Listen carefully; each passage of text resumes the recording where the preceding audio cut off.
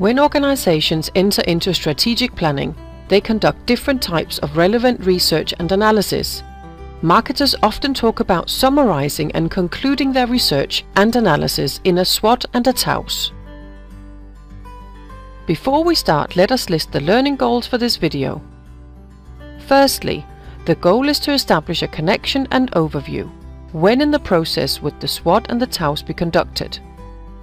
Secondly, the goal is to gain an understanding of what a SWOT and a TOWS is why marketers use it, and how we could go about conducting a useful SWOT and TOWS.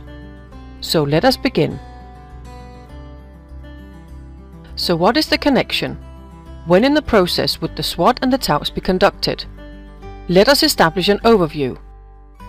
Once having established a problem or an opportunity that we wish to explore, we would do some research. We might wish to conduct both secondary and primary research, we would consider conducting qualitative and or quantitative research and use different survey types. We would check and evaluate the quality of our research data by critically applying the terms validity and reliability. The gathered data might be used in a process of conducting different analysis.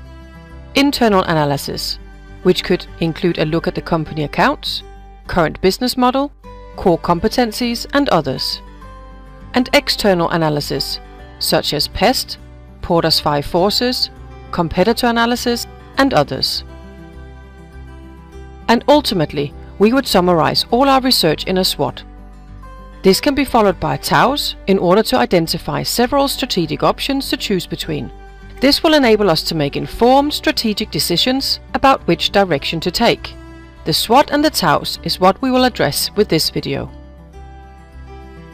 Let us use an example. This cafe is located in a large city close to a busy high street. It's called the French Cafe and it specializes in serving high quality cakes and desserts. The French Cafe is troubled by the fact that less and less customers visit the cafe and sales are decreasing as a result. The owner of the French Cafe has carried out some research and analysis in order to find out why the customers are looking elsewhere for their cakes and coffee. He is hoping that his research can help him make decisions about what to do to turn things around. Here is a short summary of the types of research and analysis the French Cafe have carried out. They have spoken to customers and suppliers. They have analyzed their financial accounts and their online presence and interactions in detail. And they have also investigated their competitors. During the process, they have collected vast amounts of data both qualitative, quantitative, primary and secondary. But how do they organize and summarize all this information? They need an overview that clearly shows what information is relevant, what is good and what is bad, and the need to distinguish between the information that describe their own internal situation and which describe the external environment, the world around them. This is where the SWOT comes in handy. The SWOT is like a large bucket where all the conducted research and analysis is collected. However, the information is not just thrown in at random. Instead, it is neatly organized and presented in order to provide the overview that we were looking for. Firstly, we will collect and present all the internal information that we find relevant. We will divide them into what we believe to be strengths of the French Cafe and what we believe to be their weaknesses. Let us highlight just a few of these findings. Let us start with the strengths. The analysis showed financial stability and the confectioner is French and highly experienced, which brings great authenticity to the cafe. Some of the weaknesses revealed by the research were a high turnover of staff which causes excessive time spent on hiring and training. And the building, it's quite run down, which shows.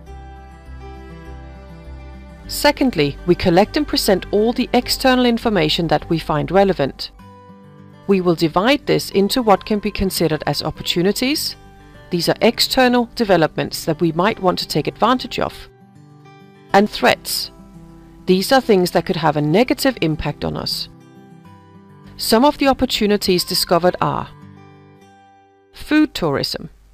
an increased number of tourists actively seek out high quality food experiences, and a general increase in disposable income.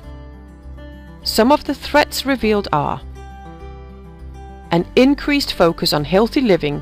This could be a threat considering the high fat and sugar content in the French cafes' products. And locally, competition has increased considerably, with many new restaurants and cafes opening up. Many more strengths and weaknesses, opportunities and threats should be included in the SWOT, but for the purpose of this video, we will deal with just these few to serve as an example. Now let us make the move from the SWOT to the TOWS. The purpose of the TOWS is to come up with possible strategic options based on the findings in the SWOT. We start by bringing in the SWOT and placing the four areas like this. Then we create four squares in the middle. These will serve as our framework for creating strategic options. Now let us see what strategic options our strengths and opportunities allow us to create. One option could be to create an offering and campaign targeted directly at food tourists. Our strength in having a highly skilled and experienced confectioner allows us to capitalize on this recent trend. Now let us see what strategic options our strengths and threats could generate. One option could be to intensify promotional activities. Our strong financial situation should provide us with the resources needed to face the threat of increasing competition. Let us move on to see what strategic options our weaknesses and opportunities could create we could reorganize and invest in staff well-being in order to create a more consistent and positive cafe experience for our customers. If we are to take advantage of the general increase in disposable income and trends in our favor, then we will need to minimize our weakness of the poor staff retention rates. Finally, let us look at what options our weaknesses and the threats might suggest we could carry out much needed repairs on the building or even consider moving location. If we are to face the increasing competition and appear attractive to our customers, then it could be necessary to minimize this weakness. Many more strategic options could be generated in a TOWS, but for the purpose of this video, we have created just a few to serve as an example. So, the SWOT is a useful tool to conclude, organize and summarize our conducted research and analysis. It provides us with a good overview of what our findings mean to the French cafe. And the TOWS is a useful tool for taking the next step of generating strategic options, possible actions we can take based on our findings. We have now established a connection by showing when the SWOT and TOWS are used in a research analysis and strategic planning process.